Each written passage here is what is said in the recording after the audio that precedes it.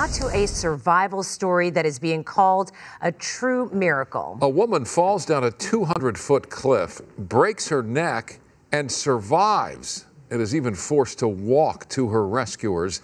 The accident happened on Christmas Eve during a hike in the San Gabriel Mountains.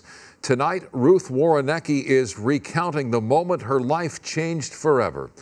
KTLA's Mary Beth McDade joins us now with the dramatic rescue, her fight to survive, and her long road to recovery. Mary Beth.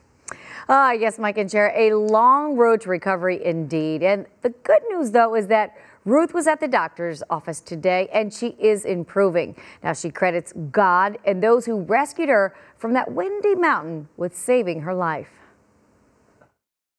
Imagine plunging 200 feet down an icy Southern California mountainside, breaking your neck in several places along the way, and surviving. A Colorado woman considers it a downright miracle.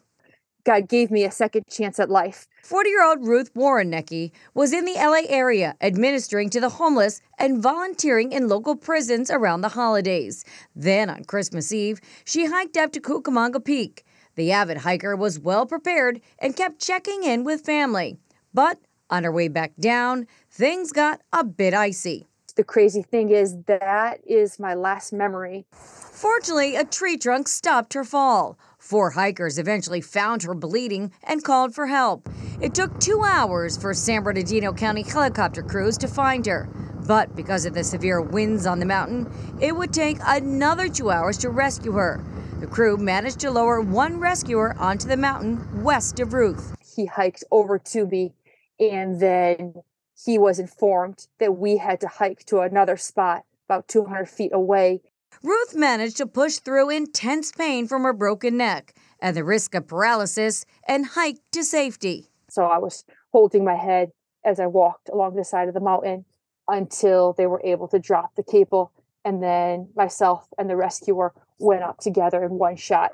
The fall left her with a number of torn ligaments and tendons in her legs, big gashes in her head, chin, and face, which required more than 40 stitches, and a doctor had to perform a very serious surgery to repair her neck. And he put a screw in the upper vertebrae and then a plate and four screws in the uh, lower vertebrae here.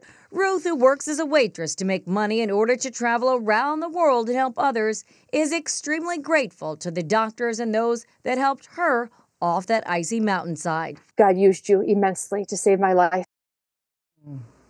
Now, Ruth tells me that when she does recover, she plans to travel back to South America and continue working with those that are suffering there. Cher? Mary Beth, thank you.